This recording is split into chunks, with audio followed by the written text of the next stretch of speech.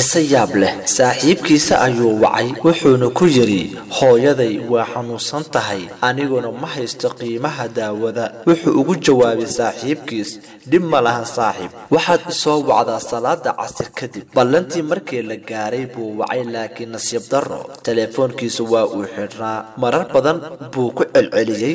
Teleefoonkii laakiin teleefoonka saaxiibkiisa waa uu dansanaa haddana. Aad buu u wacay ilaa uu ka quustay. Wuxuu bilaabay inuu raadiyo qof amaahiya qiimaha daawada hooyadiis. Laakiin nasiib darro cid amaahisa ma helin. Wuxuu dareemay in adduunka oo dhan uu ku ciriiroobay wuxuuna aad uga murugooday jirada hooyadiis iyo inuusan caawin karin. Balse murugadiisa ugu weyn waxay ahayd sida uu saaxiibkiisa u hoojiyey. Wuxuu garan waayey waxa uu sameeyo. Wuxuu dib ugu noqday gurigii asagoo aad u niyad jabsan. Wuxuu arkay hooyadiis oo huruda oo nasinyo wejigeeda ka muuqda oo ay ag taalo bac ay daawo ku jidho farxad iyo amakaag baa kala jiirtay. Wuxuu u tegay walaashiis wuxuuna weydiiyey qofka daawada keenay. Waxay ku tiri saaxiibkaaga ayaa yimid asagaana soo keenay daawada. Wax yar ka hor ayuuna halkan ka tegay farxad buu la qoslay ilmo ayaana indhihiisa ku soo istaagay.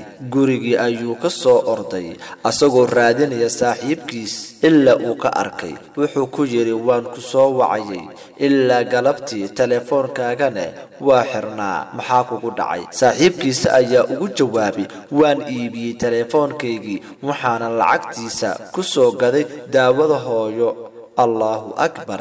Saaxiibtinimada ma aha liiska dheer ee dadka kuugu jira telefoonkaaga ama buugaaga ama facebookaaga. Balse waa dadka kula garab taagan taageero wakhtiyada aad tabar daran tahay. Fallan haddaad dhammaysatay sheer garee oo gaarsii asxaabtaada soo qor allahu akbar